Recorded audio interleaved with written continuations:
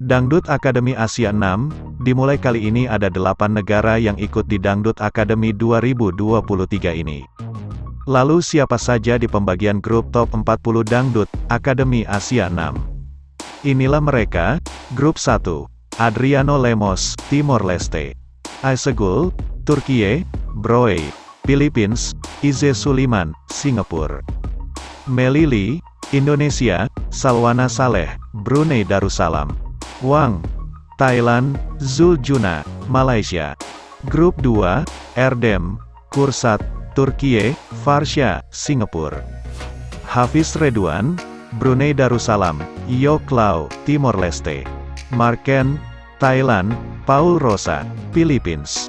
Razik Rashid, Malaysia, Wulan Permata, Indonesia. Grup 3, Arman, Thailand, Karo, Timor Leste. Hasman Sanjaya, Malaysia, Hazrul, Singapura. Indi Gunawan, Indonesia, Izat Ramle, Brunei Darussalam. Lovely, Philippines, Asli, Turkiye, Grup 4. Azreya, Singapura, Baby Acha, Malaysia. Ben Roslan, Brunei Darussalam, Dr. Iqbal Lida, Indonesia.